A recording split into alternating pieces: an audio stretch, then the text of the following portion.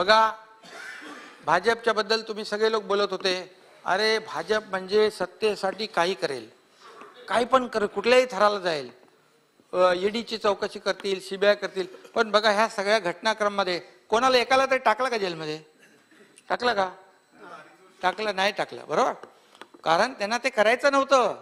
त्यांना हे लढाई प्रेमाने जिंकायची होती. आता पन्नास लोक आम्ही असताना ते एकशे पंधरा. आता त्यांनी ठरवलं की बाबा हे पोरं जे आलेत हे सगळे लोक आलेले आहेत हे एका विचाराने बाळासाहेबांच्या विचाराचे सगळे लोक आहेत. बाळासाहेबाच्या भूमिकेतून आलेत हिंदुत्वाचा विचार घेऊन आलेत. तर आता ह्यांना आपल्याला ताकद द्यायला पाहिजे. आता तुम्ही मला सांगा त्यांना जर त्यांना जर पाहिजे असतं तर त्यांनी घेतलं असतं. मी पण काय बोलू शकलो नसतो. पण त्यांनी ठरवलं की त्यांच्याबद्दल जे काय लोक अँटिसिपेट करत होते पब्लिक परसेप्शन तयार केलं होतं. अरे भाजपचाच मुख्यमंत्री होईल त्या आमदारांना सगळ्यांना पण वाटत होतं. भाजपचं पण वरिष्ठ तुमच्या नेतृत्वाने विचार केला हे हिंदुत्वाची दो एक ताकद जर आपली जवळ आली तर आपले दीडशे नाही दोनशे लोक येतील निवडून पुढच्या टायमाला. आणि आणि जर आपण जर असे वेगवेगळे राहिलो असतो तर अजितदादाने तर शंभर प्लसचा टार्गेट ठेवला होता.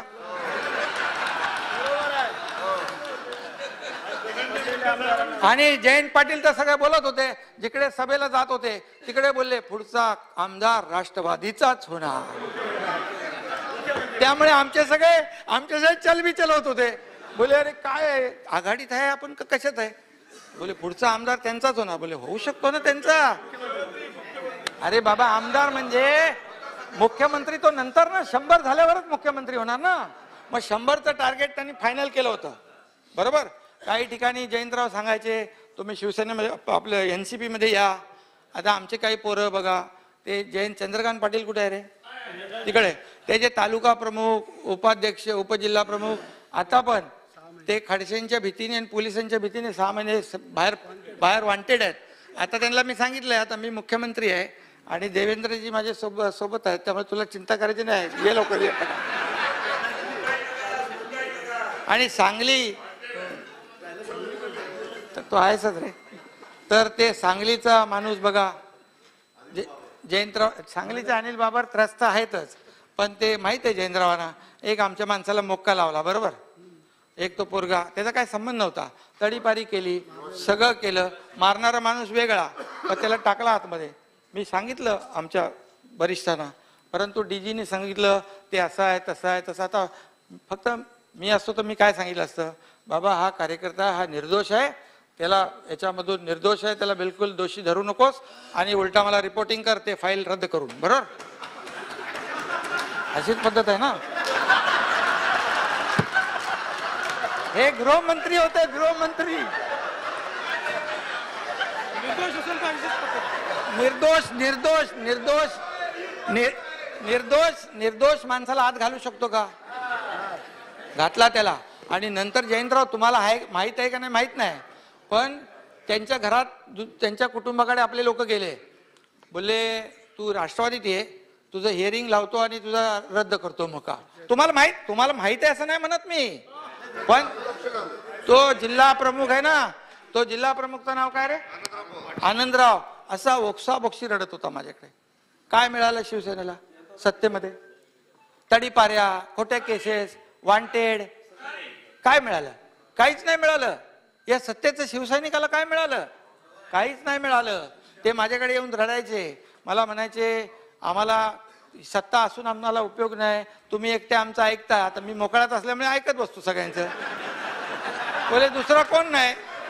आता मला काय फुल टाइम असतो. मी रात्री उशिरा दोन तीन वाजता जातो घरी. ऐकत बसतो. तर बोले एकच माणूस तुम्ही आमचं दुकान ऐकताय.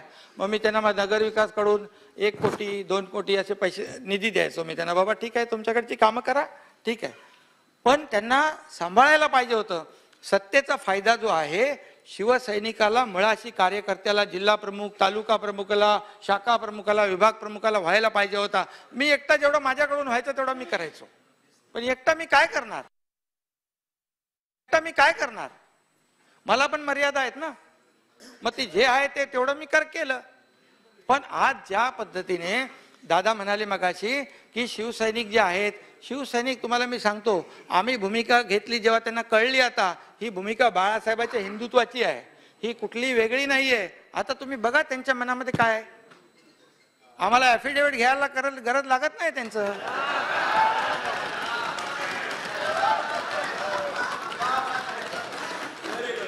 तुम्हाला मी सांगतो की बिलकुल ते मनाने आमच्या बरोबर आहेत. मी अजून तो प्रयत्न केला नाही कारण तुम्ही आम्हाला याच्यात अडकवून ठेवले. रोज कोर्टामध्ये जाता. आज साडेनऊला पण कोर्टात तुमचे माणसं गेले.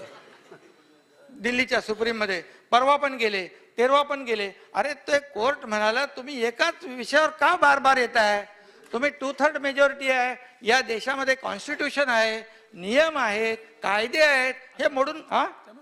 अकरा तारखेला. जे काय ते बघू. आता आम्ही इकडे अध्यक्ष बसलेत.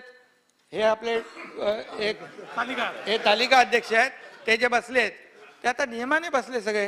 तुम्ही सहकार्य केलं परंतु दुसरे लोक कोर्टातच चालले. सारखं सारखं. आता त्यामुळे आम्ही इथे अडकलोय. इथून फ्री झाल्यावर मग सगळं बाकीचं बघतो.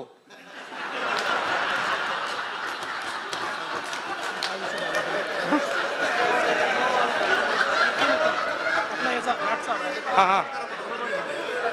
तर ह्याच्यामध्ये हो आवाड साहेब त्यांना काय सांगू नका तुम्ही. तर गमतीचा भाग आहे. तर याच्यामध्ये मिळालं काय? दादा आम्ही तुम्हाला एकच म्हणजे आमचं एवढंच म्हणणं होतं की सत्तेचा फायदा जो आहे हा तळागाळातल्या शिवसैनिकाला झाला पाहिजे. कारण उद्धव साहेब मुख्यमंत्री आहेत. उद्धव साहेब मुख्यमंत्री आहेत तर साहजिक आहे अपेक्षा आहे. शेतकऱ्यांना अपेक्षा आहे कष्टकऱ्यांना अपेक्षा आहे आमच्या तळागाळातल्या शिवसैनिकांना अपेक्षा आहे.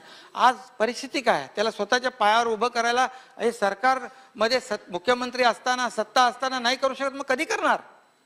पण मी आपल्याला सांगतो जेवढे शिवसैनिक आहेत या महाराष्ट्रातले जे पदाधिकारी आहेत हे सरकार जे आहे युतीचं सरकार आहे हे बाळासाहेबांच्या नावाचं सरकार आहे याच्या माध्यमातून त्यांच्या जीवनामध्ये आमूलाग्र बदल घडवल्याशिवाय आम्ही राहणार नाही.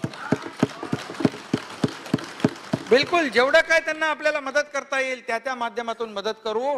तसा आमचा शिवसैनिक खंबीर असतो सक्षम असतो तो कधी कधी घाबरत नाही. त्याला एकदा भूमिका आता ठीक आहे. रोज तुम्ही आमच्याबद्दल काय काय सांगाल? गद्दार गद्दार. आता काय पोस्टर बिस्टर आमचे काय जाळून झालेत आता काय जाळत नाही कोण? संपले ना? त्यामुळे आम्ही कुठेही काय त्याच्यावर कुठे ऍक्शन रिॲक्शन दिली नाही. शेवटी बघा आम्ही पन्नास लोक आहेत. प्रत्येक ठिकाणी एक प्रत्येक जण एक एक दीड दीड सत्तर सत्तर ऐंशी ऐंशी हजार मतं घेऊन निवडून आलेला आहे.